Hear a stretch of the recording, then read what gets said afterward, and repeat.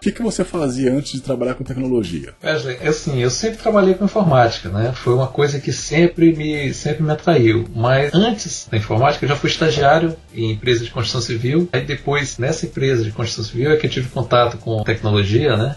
Que eu fazia relatórios no computador e tal. A partir daí eu fui instrutor de informática, depois fui analista de tecnologia em uma multinacional, trabalhando com impressão eletrônica, né, só com parte de impressoras. Fui técnico, outra multinacional, técnico de equipamentos hospitalares de imagem, né, trabalha com equipamentos de ressonância, impressoras de imagens, mas tudo sempre esteve ligado à, à tecnologia. Né? É a minha grande paixão. Perfeito. Lembrando para você que está assistindo ou ouvindo que tem cursos aí, né, de forense digital no site Academia de Forense Digital. Link vai estar na descrição e também aparecendo aí no vídeo para você que está assistindo. Link na descrição. Perfeito?